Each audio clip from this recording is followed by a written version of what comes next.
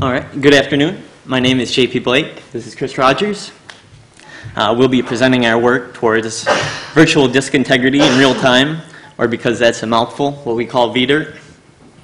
At a high level, our project consists of extensions to Xen's Disk I.O. interface, BlockTap 2.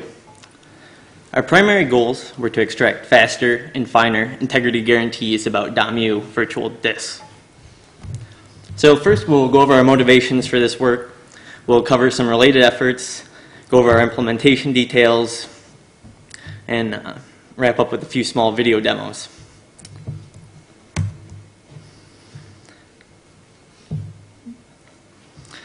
So in high assurance environments, we want to know what the exact state of the VM we're starting. We can use hardware extensions to bootstrap trust by way of a measured launch of the overall system, but we care about extending that chain of trust to guest virtual hard drives. Now, when we started this effort, the main focus was on scaling the measurement of boot time integrity to larger drives. However, as we'll go into more later, with those hooks in place, um, the capability is also there to provide continuous monitoring. Um, we all know that those security goals are wonderful, but we know that they can't come at the expense of usability. So our foremost concern and what we really wanted to prove out during this was that we could minimally impact um, the performance of virtualized disk I.O.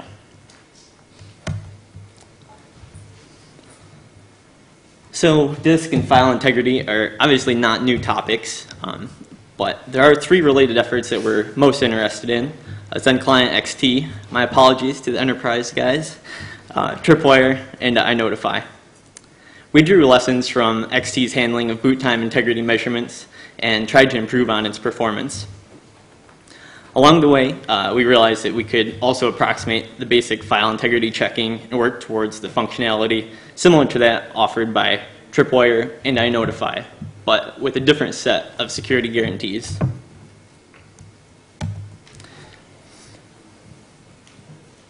So let's review XT's architecture first because it's the product environment that we're most interested in targeting. So Citrix Xen Client XT is a security conscious uh, client platform developed in conjunction with the Air Force Research Lab. And using the separation that Xen provides with VTX and VTD, um, XT is ideally suited you know, as a middle system.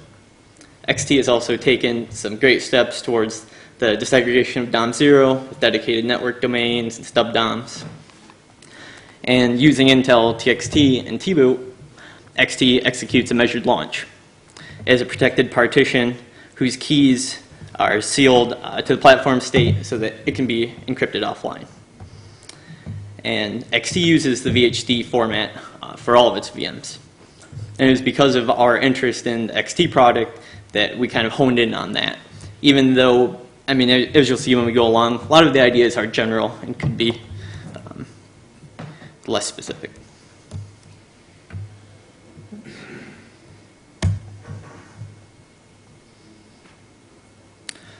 So XT has some unique extensions to traditional Linux FS layout. Um, we want to talk about this just briefly um, because some of the VDIRT enhancements uh, rely on this layout. So slash config is an encrypted protected partition um, that uh, encrypted with the keys that are put in a sealed blob that can only be decrypted when platform measurements in the TPM match the known good state. Um, when we discuss the VDIRT implementation, we'll describe how its keys are expected to be stored in this location. Uh, slash storage holds the virtual hard drives for both guest VMs, for the service VMs, obviously unencrypted, and the rest of DOM0 is measured and mounted read-only with SE Linux and enforcing. So going over XT's measuring process. Um, on the boot of a measured VM, such as the network domain, the tool stack measures the VHD's corresponding tap device um, by way of a SHA-1 sum. And then it compares this hash against the known good hash of that VM's VHD that is stored in the config partition. Depending on if they match, if they don't, it'll for, uh, follow the corresponding policy.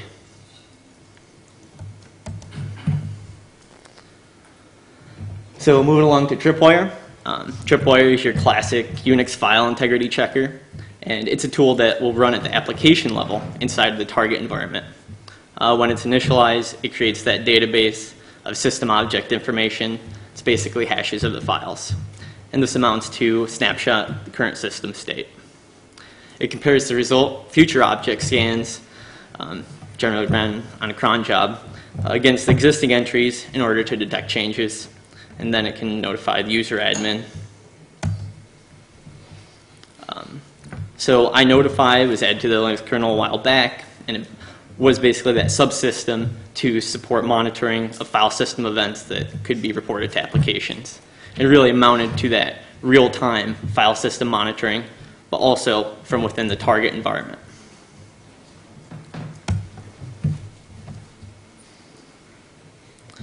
So um, the SHA-SUM for the entire disk, very coarse-grained. I mean, it really only lets us know anything on the disk has changed. It's coarse, it's definitely a good starting place. Um, what's unfortunate is that hashing those big drives is really pretty slow. XT skirts around this problem by using open embedded based service VMs, which result in a much smaller drive uh, to measure as opposed to using Debian Wheezy. However, we don't always want to be forced into using an embedded distro.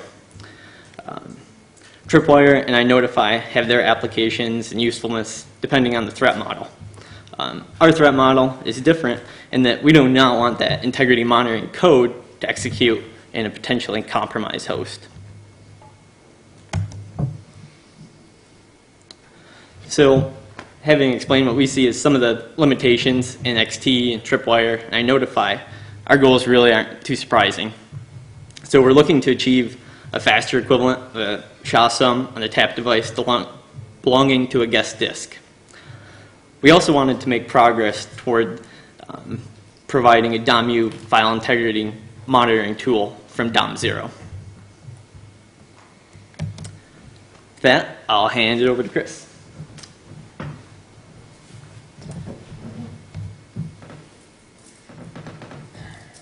So first, I'd uh, like to begin just to discuss some of the high-level uh, design goals of vDirt.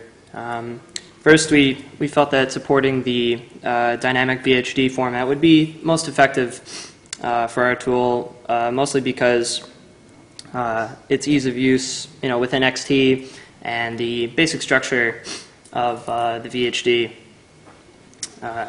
was just easy to work with. Um, so we did have to make some changes uh, to the VHD format, um, such as adding our list of hashes that we'd like to track um, during the course of VM runtime. Uh, and I'll go into those in more depth uh, momentarily. Uh, in addition, we had to make some modifications to BlockTap uh, to actually implement the tracking scheme. So with the so the idea here then is instead of incurring this large performance penalty uh, VM boot time, uh, we can just amortize this bottleneck by measuring over the course of uh, the VM as it's running.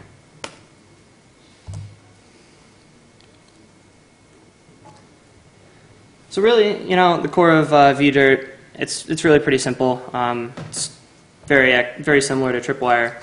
Uh, when the DOMU invokes a read, uh, VDirt intercepts the data before it's sent back uh, to the DOMU, and it compares the stored hash uh, for that particular block uh, with the hash of the recently read block. And then uh, similarly for the write operations, uh, the block is hashed, um, it's committed to disk, and then the list of hashes is updated in memory. If, of course, the VM is allowing writing to disk.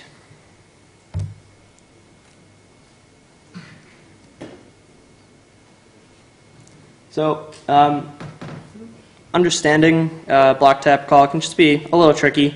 Uh, so I just want to take a quick uh, pass through um, typical block tap call. Uh, block tap 2 is disk's XenIO interface. Uh, and so first we have the backend establishing itself in the DOM uh, 0 kernel and using an event channel or shared memory ring we can communicate with block front in the DOM U kernel. So then an I.O. request would pass from the user space to the kernel space, uh, and then it's redirected to DOM0 and BlockTap. Once this request uh, reaches the block tap in the back end, uh, it's forwarded to the tap disk utility, which is responsible for uh, dispatching it to the correct um, IO library. Um, BlockTap 2 is nice in that it supports a variety of uh, custom disk interfaces and it even allows you to write your own. Uh, so VDIRT could be extended in the future beyond just uh, the VHD format. Uh, once the read or write is complete, the data sent back to the shared memory ring for the DOM U to utilize. So here, uh, I just want to take a quick moment to talk about our terminology uh, for our tool. Uh, can get a little confusing. Um, so the default VHD block size is going to be 2 megs. Um, that's what we worked with. Uh, the DOM-U default file system block size is 4K, and BlockTap also handles data at a granularity of about 4K. Um, so we call the DOM-U blocks uh, sector clusters just to avoid the confusion when referring to them from the BlockTap perspective. And here at the top, the hash list is just an array of SHA-1 sums that uh, represent the present hash of any given DOM-U block. Um, they're mapped one to one.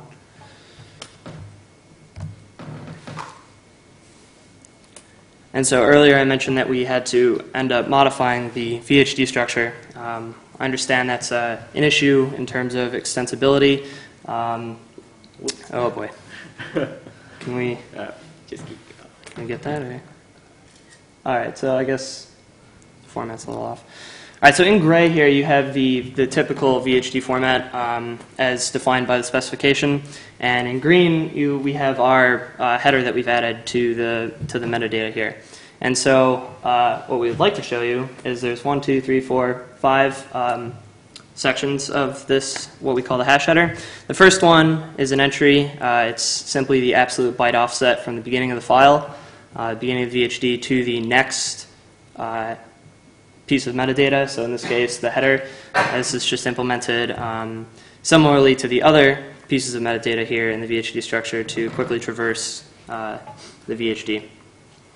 The second entry is simply a number, uh, is the total number of hashes for ease of use um, with our computations. Um, third entry is just a simple flag. Uh, we feel that uh, VDIRT should be enableable or disableable without needing to recompile Xen itself. So, um, and then the fourth entry uh, is our list of tracked hashes uh, that we're going to uh, store across the lifetime of a VM. And the last entry is a pad just to keep it 512 byte aligned. Um, so obviously the list of hashes can get quite large if we're you know hashing each of these uh, DOM-U blocks. So storing them all in memory quickly becomes a problem, and I'll uh, talk about that momentarily.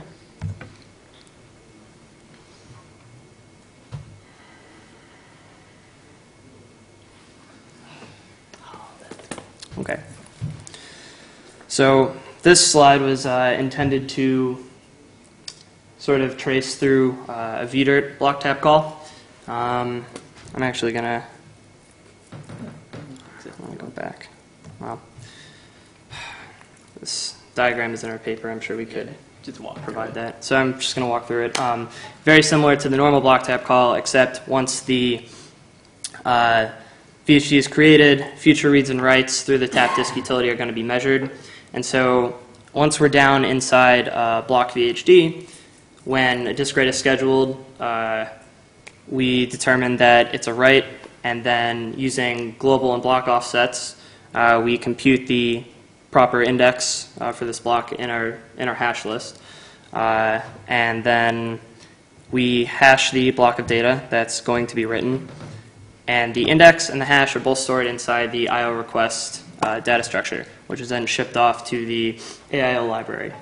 Um, we let the IO happen, and then on the callback uh, for uh, which is VHD complete, uh, we then update our hash list because we know that the write has completed, and uh, that we need to keep the hash list and the disk blocks in sync. Um, when we verify a data read, we also compute the sector cluster index uh, but we don't hash anything because, well, we don't have anything to hash. So we just allocate space, um, and we let the uh, I/O happen, and then on callback, that's when we verify the read, um, and uh, simply compute the hash of the data that was read, and then um, compare it with the hash that's being tracked. And policy uh, can dictate whether or not to stop VM execution or simply print out a warning to the user, inform the user that some sort of integrity um, uh, has been violated uh, with the disk.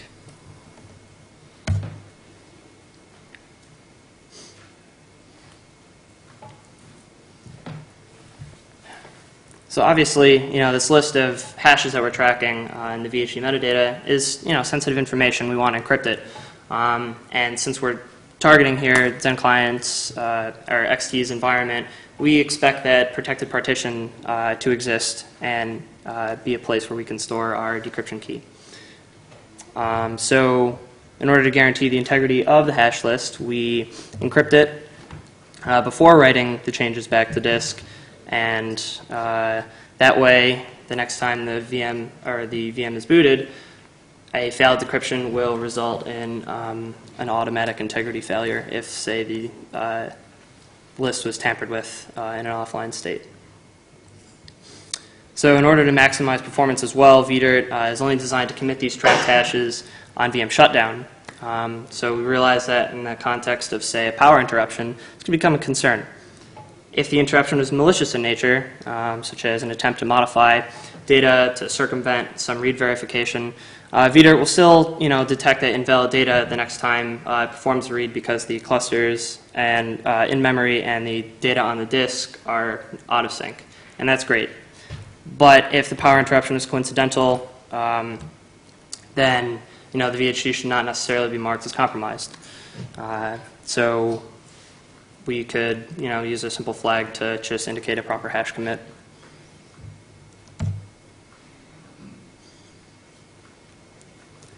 So really with vdirt we set out um, to achieve a faster equivalent of hashing the entire disk, uh, similar to XT.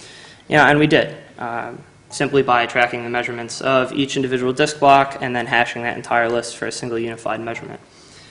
Um, as far as uh, watching specific files, we've, we have a demo uh, to show you um, where we've hard-coded uh, the block addresses of these files, um, just as a very simplistic case to sort of show this capability.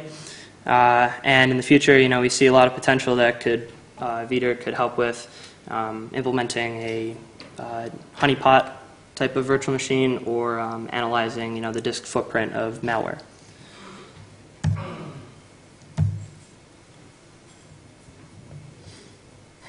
So performance is a huge concern for us. Um, so, you know, uh, SHA summing a block 4K, you know, quickly adds up in memory. For a one gig disk, uh, we have a hash list of five megabytes. Um, that's not bad.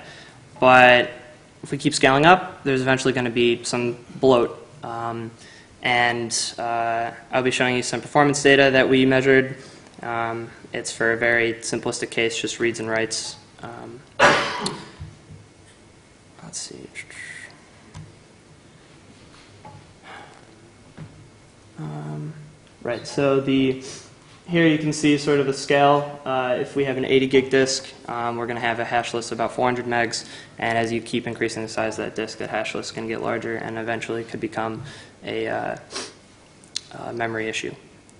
Um, also, you know, throughout this talk, you probably noticed we've been a little hand wavy about policy details in terms of verification or, or handling failure. Um, vdirt really is in the prototype stage right now, um, so we don't have a full policy engine implemented.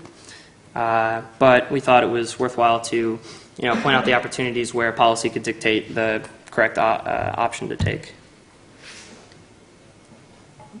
All right. So these are just it's just a graph of uh, comparison between vdirt and native open source Xen uh, for a synchronous I/O workload. Um, modified, our vdirt implementation is the darker graph, and the or the darker bar and the lighter bar is native. As you can see, there was not um, very much of a performance uh, penalty um, when using or when doing these simple I/O tasks. Uh, Similarly, this is the bandwidth uh, for each of these tasks as well.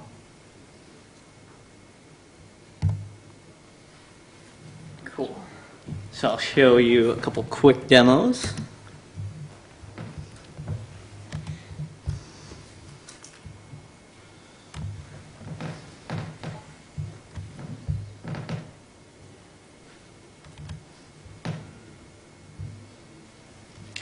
Okay, so you're looking at right now how we ported uh, VHD util to basically take out our tracked root hash.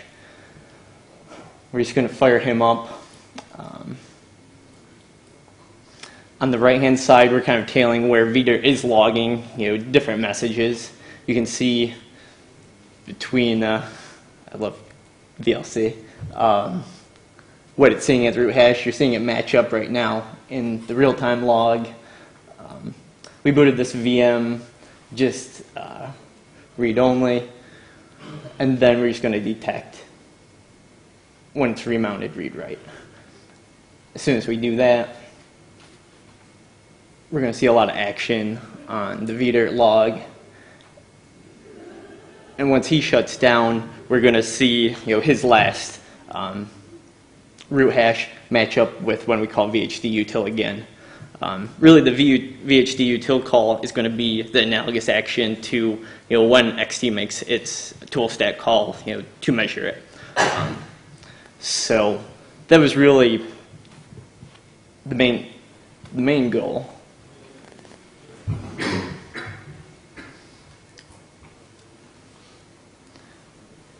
Then we're just going to see our root hash over here match up. So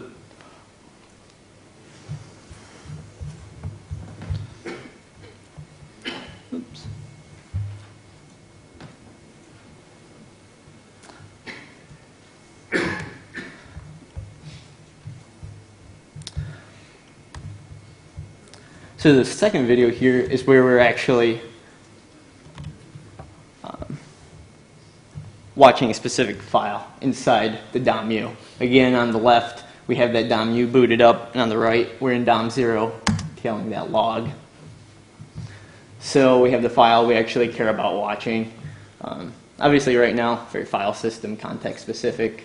We're going to just move him over. Um, and what we are doing in the back is you know, we determine the block offset addresses for the inode and data for WatchMe, and that's what we're tracking. So your simple moves to inode. Um, this is where we're actually messing with the data that we're watching. And VLC capturing at its best. Um, and then again, kind of like your, your Trojan idea, you're just going to replace that file. And again, that's something you're going to detect simple inode change. We sync up and catch that as well. So, and there you have it. Thank you. Oh, oh yeah. There you go. Questions, anybody? Everybody's ready for the coffee break.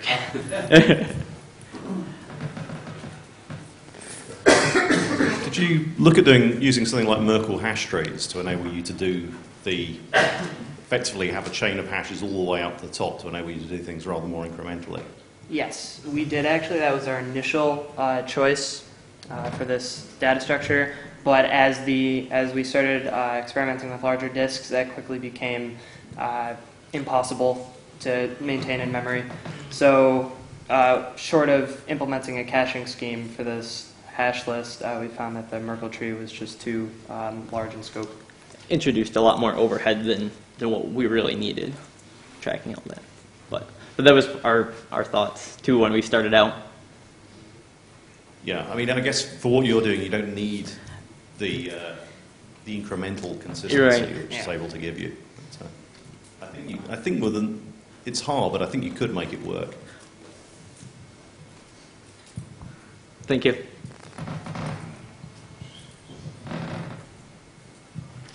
So So you're effectively doing lazy integrity checking of the disk, Lazy. right? Instead of doing it all at once, you're doing it as the pages get read or written for the first Yep. time. Yep. So I'd expect there to be a significant performance overhead if you were to read a file for the first time, a large file when it's coming up. I mean, did you do any kind of performance evaluation like that? I mean, when we staged the VMs initially, you know, from the get-go, it's with block BlockTap instrumented with VDirt, and there's really no extra time for doing, you know, like an install of the Wheezy VM you saw.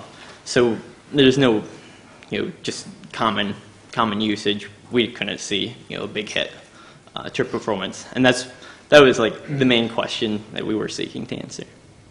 Thanks. Yep. Any, uh, So nowadays, Upstream Xen mostly use QEMU as this backend. Uh, do you think it would be hard to port your work to uh, QEMU, that is another basically uh, provider of a disk backend in user space? So that was kind of what I, I was hinting at when we started out. It's, I mean, Reader itself, very general idea, like, oh, we're going to intercept, you know, the call kind of in transit. Um, again, our use case, we're targeting XT, so we just kind of dialed in. Um, I guess I'm not as familiar with, you know, the QDisk and QEMU kind of backends to, I would hope not, you know. anybody else? I seem to not. Okay. Thank you very much. Thank you for the call. Thank you.